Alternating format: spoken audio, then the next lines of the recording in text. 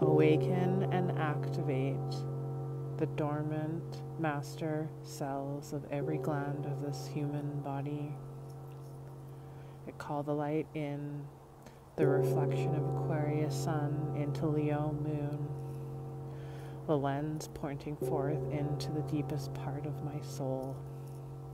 I remember myself as one with the infinite all, the infinite goodness of all. Universal timing is impeccable we have been traveling for so long to find us to this here and now. There are no coincidences.